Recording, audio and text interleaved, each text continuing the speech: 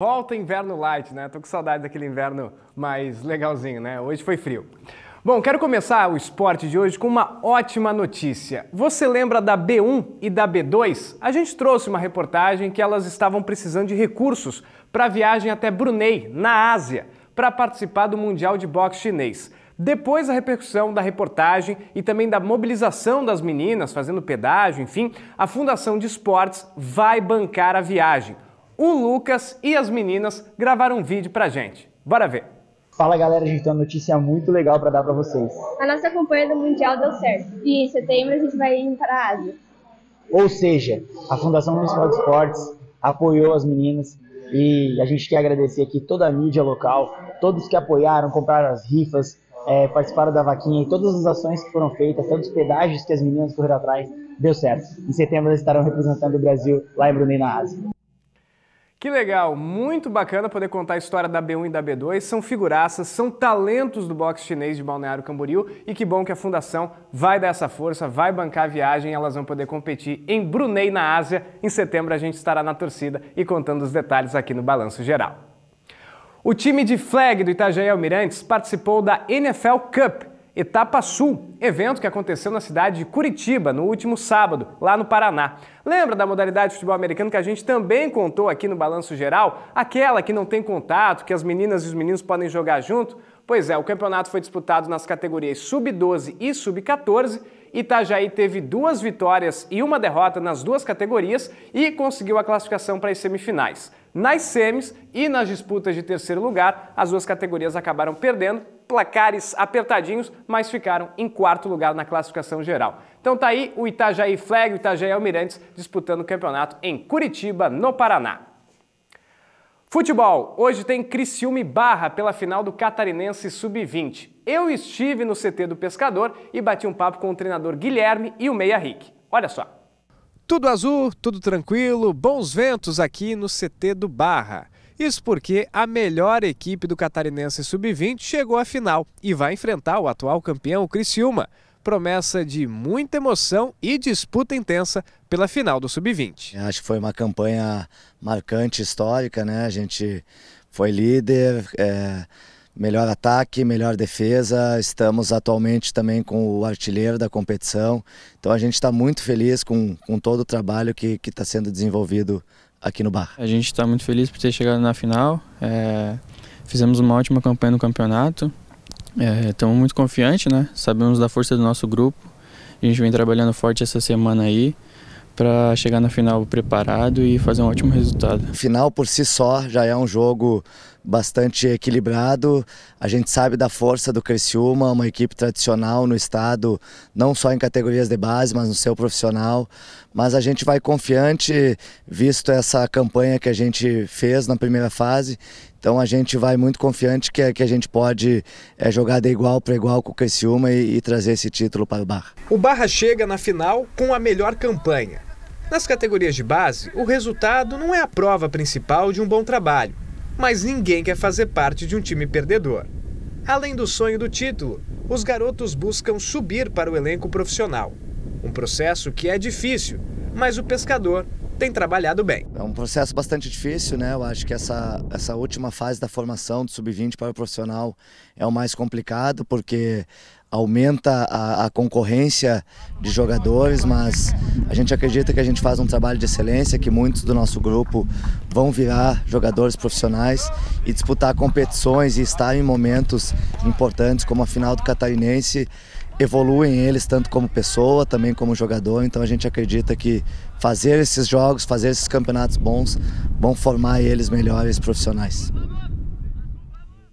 Portanto, hoje, sete e meia da noite, Criciúma e Barra se enfrentam pelo jogo de ida da final do Catarinense Sub-20. Amanhã a gente conta todos os detalhes. Falando no Barra, o lateral esquerdo DG foi emprestado ao Goiás. Ele vai jogar a Série B do Campeonato Brasileiro, hein? O Esmeraldino ainda tem a opção de efetuar a compra do atleta após a disputa da competição nacional. DG tem 23 anos e contrato com o Barra até 2026. Ele chegou ano passado para a disputa da Copa Santa Catarina e fez 32 jogos. DG já realizou treinamentos pelo Goiás e gravou um vídeo sobre a chegada ao Verdão lá do Centro-Oeste. Olha só. Fala nação esmeraldina, aqui é o Douglas, lateral esquerda, 23 anos. É uma honra estar vestindo o manto. É, pode esperar de mim muita garra e muita raça. E eu venho para poder ajudar o grupo a, a, subir o Goiás e botar onde ele está.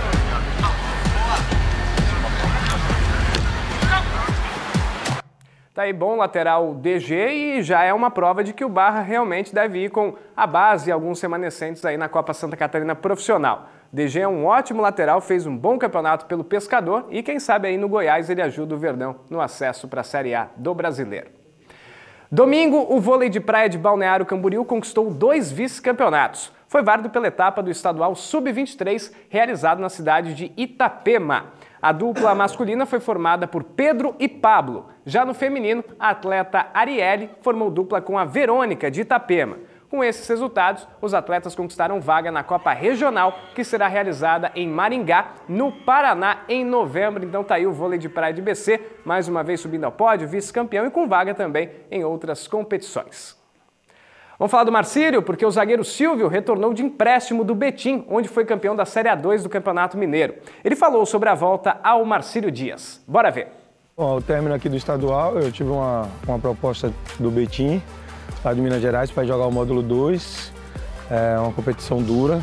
Eu confesso que é, foi impactante para nós, né? Não só para mim, mas para os meninos também, a questão do, da competitividade, né? Que a gente encontrou lá. É, graças a Deus a gente teve êxito, né? Conseguiu cumprir com o objetivo que foi traçado pelo clube. É, conseguimos o acesso lá e o título de campeão. Eu consegui ter sequência, continuar tendo sequência, né? Eu joguei 15 das 16 partidas, não tive problema com lesões, fiquei apenas um jogo suspenso. É, estive em campo na maioria dos jogos e isso aí é motivo de, de satisfação, né? A expectativa é de continuar buscando né, vencer, buscando coroar campeonatos com título. O Marcílio vem muito forte novamente, a gente está aí por dentro do, da montagem do, do elenco. Vai ser um elenco muito forte, muito competitivo, assim como foi do ano passado. E a gente espera estar tá aí no, ao final da competição brigando pelo título novamente. Eu venho fazer o convite a vocês para estar abraçando a gente nesse início de competição, que vocês possam estar vindo ao estádio. Todas as vezes que vocês vieram e eu presenciei isso, vocês foram uma força enorme para nós. É, eu acredito que não se consegue nada sozinho e deixo aqui o meu pedido para que na estreia vocês já possam estar lotando o gigantão e a gente possa já estar desfrutando da primeira vitória e rumo ao tetracampeonato que o Marcelo Dias tanto deseja.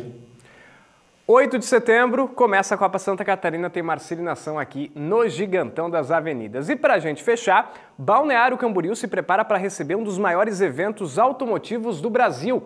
É a sétima etapa da categoria Ultimate Drift e da terceira etapa da categoria Ultimate Light, trazendo para a cidade a adrenalina e a emoção do drift.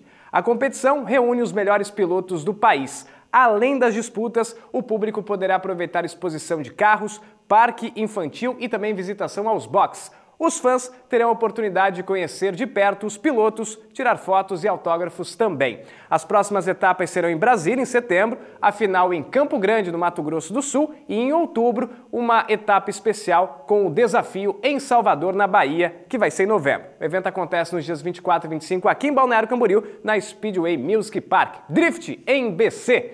Essas são as informações.